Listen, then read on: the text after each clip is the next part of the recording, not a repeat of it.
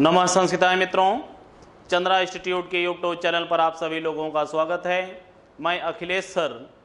आज आप लोगों से संस्कृत भाषाया शिक्षण से संबंधित मैं कुछ प्रश्न आपके सामने रख रहा हूँ। हमारे कई मित्र बहुत परेशान रहते हैं कि मैं प्रश्नों को कैसे हल करूँ परीक्षा में। तो मैं मित्र एक चीज़ आपसे निवेदन करूँगा कि पहला नंबर तो आप सर्वनाम।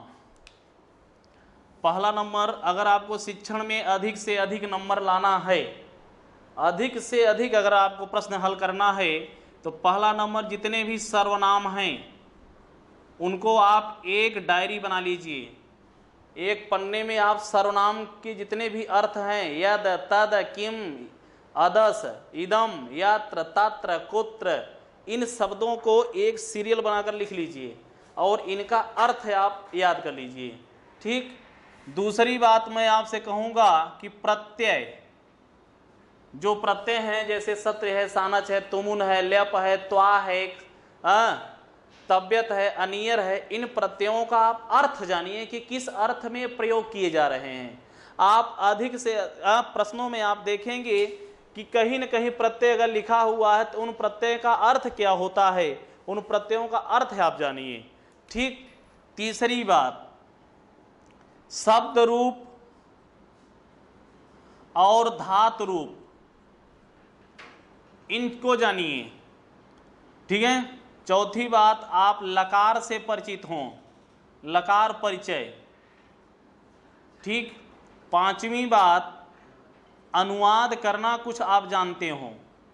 अगर इन पाँचों चीज़ों से अगर आप अवगत हैं तो शिक्षण नहीं, चाहे महाशिक्षण हो, आप हल कर ले जाएँगे। क्योंकि संस्कृत का ऐसा सब्जेक्ट संस्कृत ऐसा विषय है कि पूरा इसमें संस्कृत भाषा में ही लिखा रहेगा। तो अगर आप सर्वनाम नहीं जानते हैं, प्रत्यय नहीं जानते हैं शब्द रूप धातु रूप नहीं जानते हैं, लकार नहीं जानते हैं, और अनुवाद करना आप थोड़ा बहुत नहीं जानते हैं तो आप अर्थ नहीं निकाल पाएँगे। जब अर्थ नहीं निकाल पाएँगे तो प्रश्न क्या कह रहा है, उनका उत्तर आप कैसे देंगे? ठीक है? इन बातों को आप करिएगा, और मैं आपसे अब प्रश्नों की चर्चा कर रहा हूँ।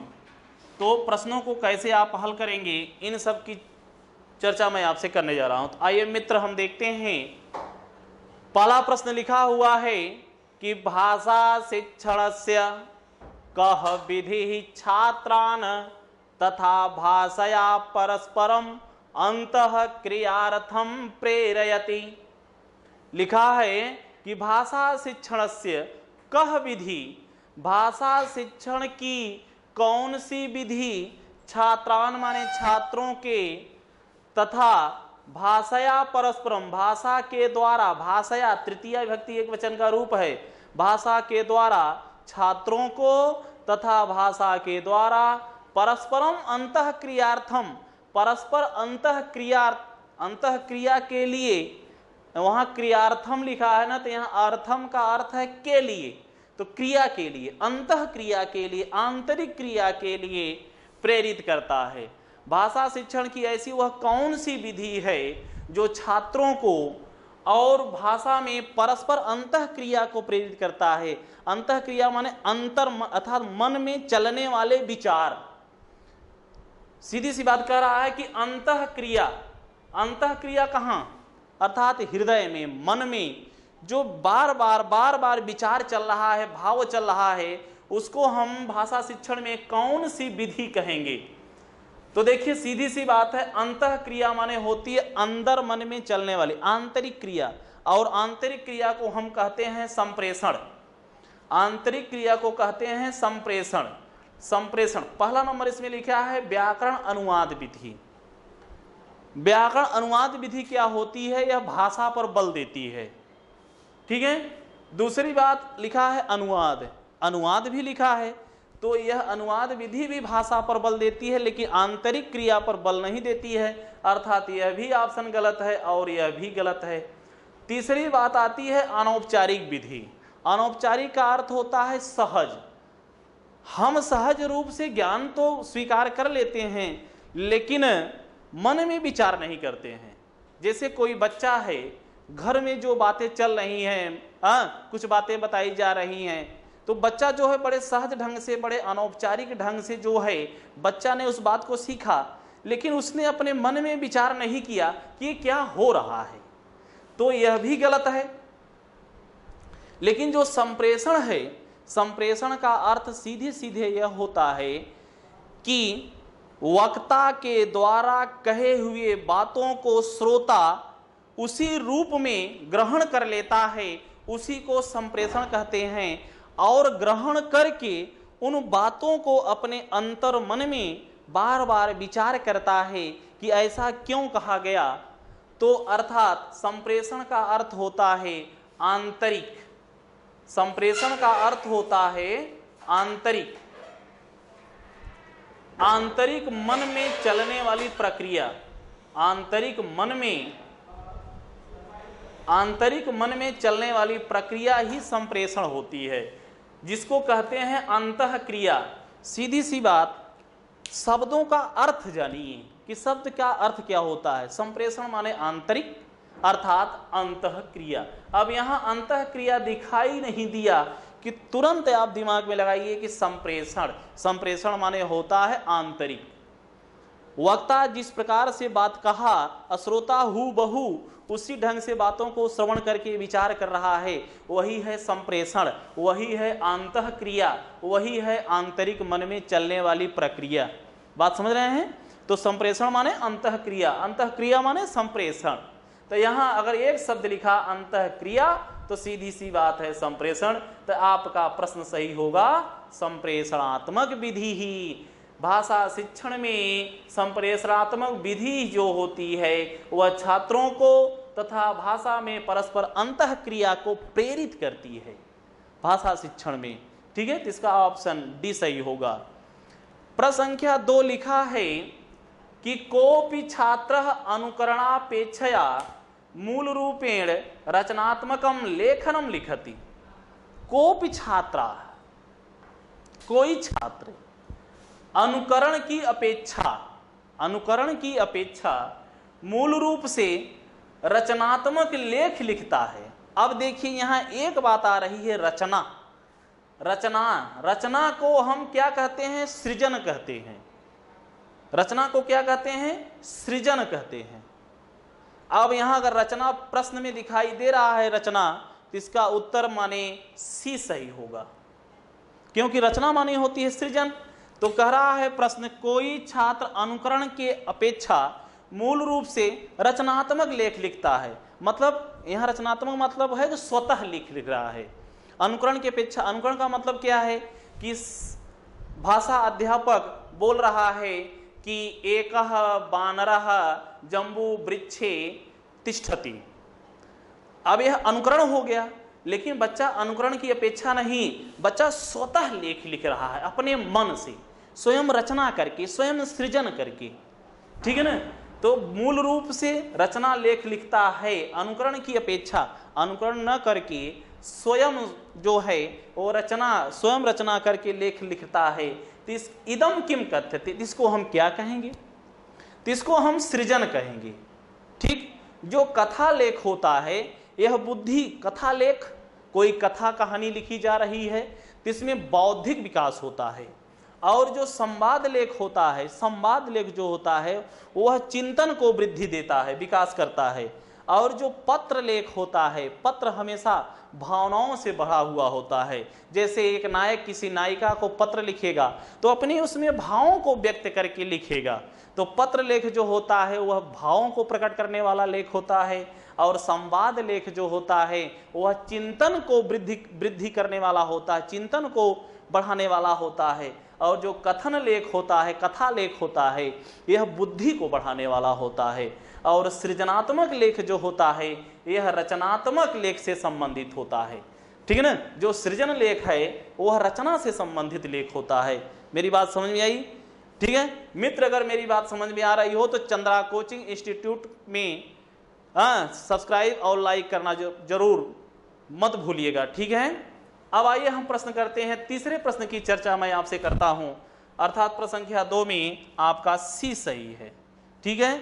न तो ए सही होगा, क्योंकि ए जो होता है यह बौद्धिक क्षमता को बढ़ाता है, और न तो बी सही होगा, क्योंकि बी जो होता है यह चिंतन प्रक्रिया को बढ़ाता है, और जो डी है यह विचार यह जो होता है विचारों को व्यक्त करता है, अर्थात यह भी नहीं होगा। और जो सृजन होता है यह रचनात्मक लेख हो यह रचना को उत्पन्न करता है। स्वतः पैदा करने का रचना माने, सृजन माने पैदा, रचना करना। स्वतः यह पैदा करने की, पैदा करने को विकास, विकसित करता है, अर्थात सबसे उचित विकल्प आपका है सी।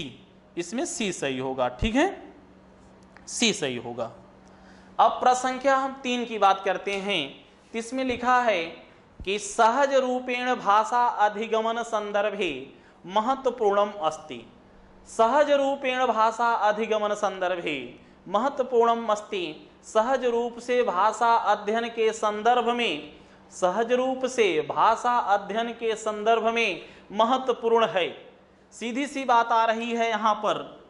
सहज रूप से, सहज सहज रूप से भाषा अध्ययन के संदर्भ में सबसे अधिक महत्वपूर्ण क्या है? पहला ऑप्शन लिखा है, अधिगत शब्द अधिकृत वाक्य निर्माणम।